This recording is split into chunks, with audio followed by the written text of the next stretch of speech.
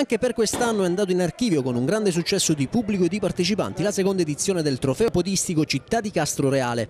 Organizzato dall'ASAC con il patrocinio dell'amministrazione comunale sotto l'egida della FIDAL, la manifestazione valida come settima prova del progetto Corsa su strada ha visto alla partenza in corso Umberto I quasi 100 atleti provenienti da tutta la regione.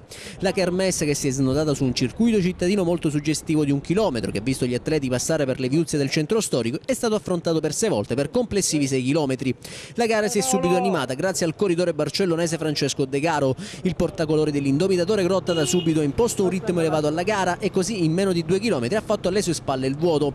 Nulla hanno potuto i vari Davide Bonazzinga, Roland Almento e Vincenzo Giordano, già protagonisti della passata edizione. De Garo infatti con grande determinazione è riuscito a tagliare il traguardo solitario, bloccando con grande soddisfazione il cronometro sui 20 minuti e 7 secondi. Sì, sì, sicuramente è una bella soddisfazione, comunque un percorso abbastanza impegnativo. Quei strappi di salita da quel lato erano impegnativi, però molto allenanti direi comunque. Una, una bella gara, sono partito forte, sono partito forte i primi due giri, tre giri per fare subito selezione, poi appena ho visto che avevo un margine diciamo, di distanza diciamo, abbastanza ampio, allora ho rallentato, ho gestito la gara e sono arrivato al traguardo. Alle spalle di De Caro si è piazzato invece il compagno di squadra Alberto Doriore con il tempo di 20 minuti e 39 secondi, terzo infine Guglielmo Gullife della Proform Messina. Tra le donne prima assoluta è risultata Antonella Minutoli della Stile Libero Messina con il tempo di 25 minuti e 21 secondi. Per la società organizzatrice in evidenza Salvatore Milici. Al termine della serata ha espresso grande soddisfazione per l'ottima riuscita della Kermesse il presidente dell'ASAC Castro Reale, Marco Monaco. Posso che ritenermi molto soddisfatto e condivido questa soddisfazione con tutti coloro che fanno parte dell'associazione e che hanno contribuito e hanno collaborato con noi.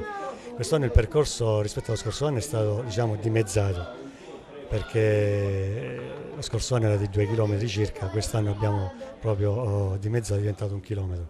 Si è, si è, svolto nel centro cittadino e dai commenti fatti attraverso lo speaker abbiamo, abbiamo potuto notare che che gli atleti hanno molto apprezzato il percorso di quest'anno, anche se purtroppo in un paese come Castroreale la salita è inevitabile e così via, anche di conseguenza la discesa. Anche il primo cittadino di Castroreale, l'avvocato Salvatore Leto, ha avuto parole di elogio per la splendida riuscita della manifestazione. È un piccolo paese, però è un paese che pensa in grande, un paese che ha la fortuna di avere giovani in gambissima che si impegnano, che donano tutto pur di fare cose che attraggono e che coinvolgono l'intera cittadinanza. Siamo veramente orgogliosi di essere castrensi.